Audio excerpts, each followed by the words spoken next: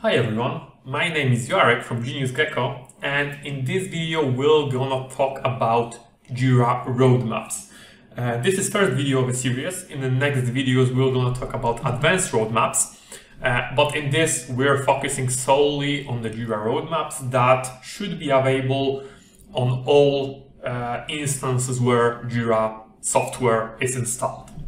So uh, let's take it away. So, what is Jira Roadmap? Uh, Jira Roadmap is a feature that allows you to graphically present a lot of information associated with your plan and with timeline of your plan of your work. So, what you're seeing now is a roadmap, and we can see that we have a timeline. So at the top we have we have months, and we see how our epics are planned on this timeline, when they start, when they end. Uh, so you can already have kind of a familiar feeling about that uh, because it looks a lot like a Gantt chart that is uh, a tool that is widely used in project management. It's not fully a Gantt chart, it misses some feature in my, in my view, but still it allows us to graphically present our plan and this is form of, of data visualization that is way more useful and convenient to use uh, than standard features that we had uh, available in Jira like planning per sprint. So you can plan per sprint uh, easily, you will know what to do, but if you would like from this screen to see, okay, when we are finishing work on certain epic, it's not that easy to see here. Uh, so roadmaps allows us to get a bigger picture or higher level picture of our work, of our plan, and, and have a better understanding on what we're standing on. Before we'll dive into discussing specific features of a roadmap, it's important to understand that roadmap is always associated with Jira board. Uh, so when we create new board or where it is created for us when we create new Jira project, uh, we will have several, let's say, modules over here. And all of them are associated with the same set of tickets. So I have this P1 board, which basically covers all the tickets from the project one. Uh, and you can see that in backlog, I have multiple sprints and quite a lot of issues in the backlog itself. That means that on the roadmap, I will see the same issues, the same set of data. Uh, of course, most of it is hidden at the moment, uh, but roadmap, backlog, and other, other elements over here operate on the same set of tickets. If I would have another board, uh, like the Kanban or two project boards in this project, they could have different set of issues and roadmap for these boards would contain different information. Uh, so important to, to remember the scope of the data on the roadmap is always defined by the scope of the data in the board. Okay, so let's look at what we can see over here. Uh, so obviously the main part of the roadmap module is the timeline. So we can see, uh, yeah, basically a month. We could switch this view to either uh, weeks or quarters. We can focus on today, uh, depending on what scale of a timeline we want to see. And we see a list of epics over here.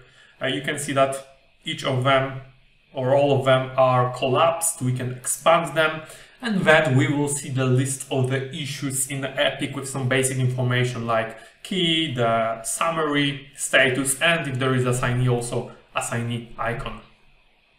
Uh, and for, well, not for each of them, but for some of them, we will see also the bars on the timeline representing when they start and when they end. Uh, so this already gives us information, quite a lot of information actually, about how we are standing with our work, how our plan does look like. So we can see over here that this epic should be finished in January. This, on the other hand, should already be finished, right?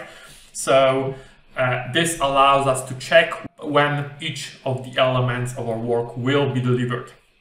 Now the question is, okay, but how these bars are defined, how the start and end date is defined. Uh, because you, you could see that if we expanded this, the task actually did not have any start and it, the, the bars were not here. And we'll cover, cover that in the moment, but at the moment, we are just planning the epics.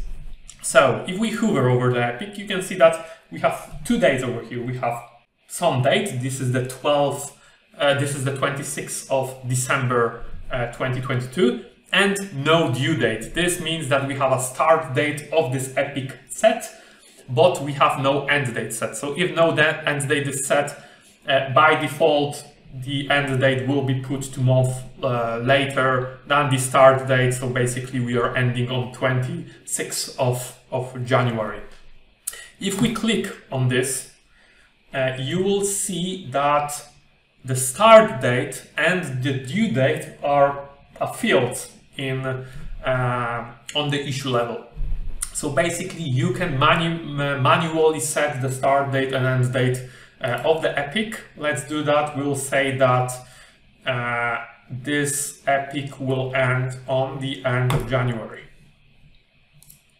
And you can see that this actually expanded. Now, if we hover, we have a hard set start date and hard set end date. So we can manipulate how long this bar is uh, by manipulating the, the, start date and the due date uh, custom fields on our epic level. It's possible that we not always want to do that, but we'll cover that in a moment. What else we can see here and we can do here? Uh, so when we hover over the bar, you can see that two, uh, two dots appear over here. These are dots that are allowing us to create dependencies between two uh, tickets visible here. So I will do this like that. So I will drag and drop this dot to the other issue. And this created dependency between two epics. You can see that this dependency is at the moment red. This is because this dependency cannot be uh, respected because this epic has a start date uh, that is earlier than the end of this epic. So we would have to manipulate the, the, the start date of this epic uh, for the link to be respected. Uh, this is valuable information because if due to moving the issues between the sprints, uh, for example, I, will show you the example later, uh, you will break that kind of dependency, this color will inform you that something is wrong and something requires replanning. Uh, so in, in, this, in this case, we would have to look into this developer epic and maybe replan the issues so that they are uh, delivered somewhere in February. So what else? Mm, at the top, we can see the sprints or we can see that the bars representing the sprints. They're, they are available here because if we go to the backlog, you'll see that I have multiple sprints defined over here, five of them actually, and each of them has start and end date. So Jira understands when each of the sprint uh, is starting, is finishing. Technically, it's possible to define the sprint without those two, but without those two, they would not be available uh, and, and usable on the roadmap. So it's good always to define start and end date. And uh, because we have done that, here at the top, we have the sprints visible, so we can see that, okay, probably uh, the last sprint in which we can deliver task for the PO epic is sprint 4 because sprint 5 is already uh, uh, finishing way after this epic should be finished. So let's drill down and look at the task level or story level, not on epic level. So as we've seen before, uh, we can expand the epics here and we will see the list of the stories or tasks but you can see that they are not visible over here. So basically at the moment we can do the planning on epic level, but not really on the task level. This is due to the default configuration of the roadmap. We can change that and to do that we can go over here, configure roadmap and enable this feature, child level issue scheduling. And I would encourage you to do that. In my view, this should be the default setting. And now, when I get back to the board and to the roadmap, when I expand these issues, you will see that we have tasks over here. And we can see that they are planned on a specific periods on the timeline. Uh, how they were planned, where you can see at the top that they basically overlap the sprints. So when the task is assigned to a specific sprint, uh, Jira understands it as, yeah, so basically this task should be delivered in the time frame of the sprint, right? So it plans it over here. Uh, yeah, so, so we can obviously do that by going into active sprints and assigning tasks, sorry, going to backlog and assigning tasks over here by drag and dropping them from the backlog. But what is very convenient and, and great in my view, we can assign them also over here. So we can drag and drop them between the sprints, right? And you can see that, yeah, th this is basically uh, the only way. So you cannot plan task somewhere in between the sprints. Uh, you can plan them only over exactly overlapping the sprint. This is why I told at the beginning that it's not fully a Gantt chart. Well, this is one of the reasons. Uh, because the planning is done only in agile way and we can plan tasks only uh, in sprints. Uh, yeah, but anyway, from this level, we can plan them or move from the sprint to the sprint. And if certain task is not assigned to any sprint, we can just assign it by clicking on a specific sprint. So uh, you can see that this one, it's nowhere to be seen in our sprints. If I click over here, it will appear in the sprint. It was automatically assigned to that sprint. So we can see with when, when working with our customers, that there is a lot of a, lot of situations when this is preferred way to plan a sprint. Uh, so for example, if we need to deliver a certain epic by by given date, uh, we could do that do, do this in the backlog. So basically uh, find all the issues that are linked to, to our epic and make sure that all of them are planned uh, latest, for example, in Sprint 3. But it's not as intuitive, not as convenient. Uh, it's way easier uh, in the roadmap, and and we see that a lot of people like to use this feature a lot. Okay, let's let's return for a moment to dependencies. Uh, I've shown you dependency between epics, but another reason where planning sprints in the roadmap is more effective are potential dependencies between the tasks. Because if you create dependencies over here, you will see whether you planned the task in the right order. So here you can see that, yeah, it's this task is dependent on this one. It might not be best idea to plan them in the same sprint. Uh, so it's red, but if the order is maintained, this task should be delivered before this sprint earlier, so we should be able to start working on this, with this without problems. These dependencies are not visible uh, in the standard backlog. So uh, yeah, for planning, again, for, for planning where there are existing dependencies, this again is a better way uh, to do that. Uh, and by the way, if we go into the task, you'll see that these dependencies are represented on issue level as links. So it basically creates a block link between uh, two issues.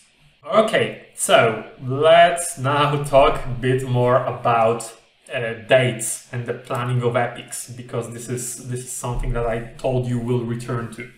Uh, at the moment, you can see something really, really interesting that uh, this epic actually ends or is planned to end before last task in the uh, in this epic will be finished.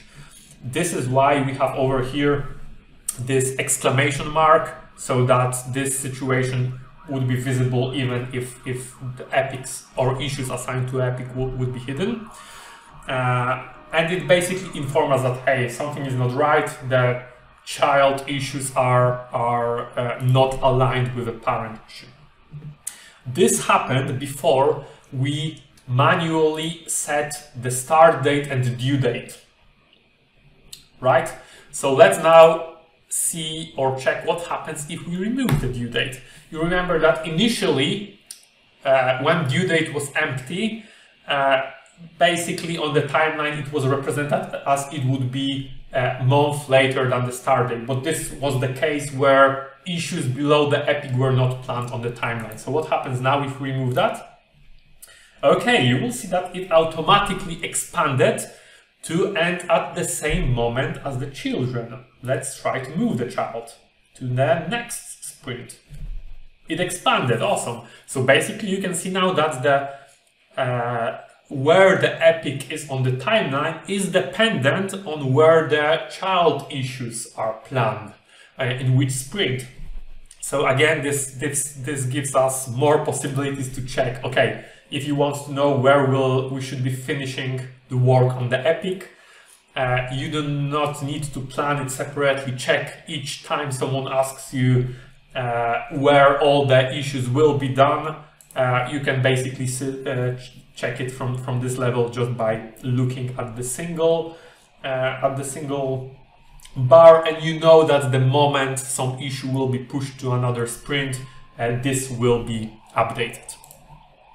Uh, okay, but now we have this case where start date is for this issue is set and the end date or the due date is uh, is empty so it's put or it's it's filled based on the children issues we've seen that if due date is empty it basically uh, updates based on the children but what with a start date it was set what if we try to make it earlier? Okay, I cannot make it earlier because I have no earliest sprint.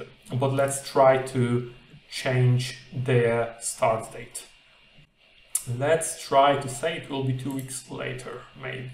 It was shortened, and now I'll try to pull this task to the earlier sprint. It allows me to, but still the date over here was set, so this epic or bar of this epic did not expand to earlier and again we have notification here that something is not right here. If we want to have fully flexible bar uh, that completely depends on the children, we need to have those two dates completely empty. Uh, and then the epic will always be, or the bar of the epic will always be dependent on the children. I'm not sure if I updated this one, of course not. Mm -hmm. Let's make it empty. Yes, and now it's fully dependent on the children and I cannot move. So, yeah, I, I think that that kind of flexibility is a very good thing to have. Uh, especially if you do not really have strong or hard set delivery date for the epic van, it will just be, uh, it will just represent you the factual uh, plan when the epic will be delivered. On the other hand, if you need to deliver the epic uh, for specific dates, there are two ways to do that.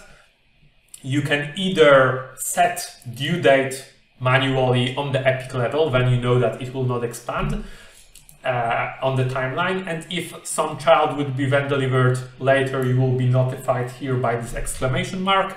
Or you can make the end date flexible and just monitor uh, whether it got moved or not. I prefer the first scenario where there is exclamation mark over here, but it's it's according to your preferences. I've seen customer uh, doing both. Okay, let's quickly cover other options that we have over here, and then we'll move to to discuss the biggest flaw or the biggest uh, weakness of Jira roadmaps that I see. Yeah, so what we have at the top, we have pretty good filtering. So we could filter by status category. We could display just one epic. Uh, so obviously, uh, if you're doing the planning, a lot of epics will have like dozens of tasks. It might not be convenient to display all of them at once. Uh, but yeah, we're able to filter out issues uh, or epics with, with their issues just like that. So you can focus on one or two epics that are especially in, important for you at the moment and hide all the other ones. Uh, we can filter by label, issue type, use one of the quick filters that can be can be defined with settings. I will not cover that at the moment and clear filters. At the bottom, we've discussed this one already. Uh, so I think that most of these things will be pretty intuitive and, and self-explanatory. So what is the biggest weakness of this tool? So, so the biggest weakness is, is a limitation in the scope of the data that we can display over here. I told you earlier that the scope will be the same as the board, but it was not entirely the true.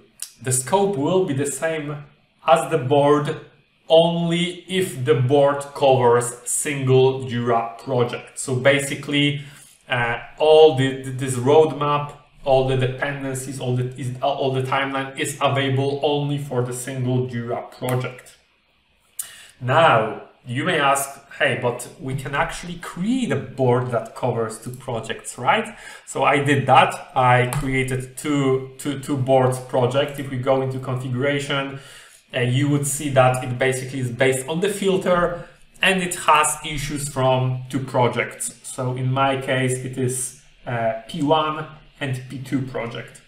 And I, roadmap is available here, so maybe we can work around that, but sadly not. Uh, roadmaps are designed only for a single project. So if you have multiple teams working on multiple Jira projects and you have dependencies between the, those two teams they need to coordinate, roadmap will actually not help you too much. Uh, advanced roadmaps is the tool used for that, but we'll discuss it on in, in next videos.